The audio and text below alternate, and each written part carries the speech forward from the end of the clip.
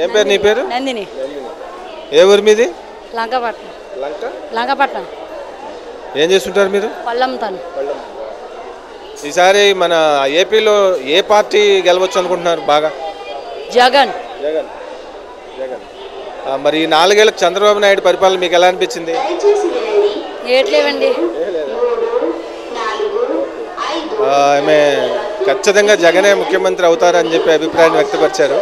thanks amma. Thank you. Right.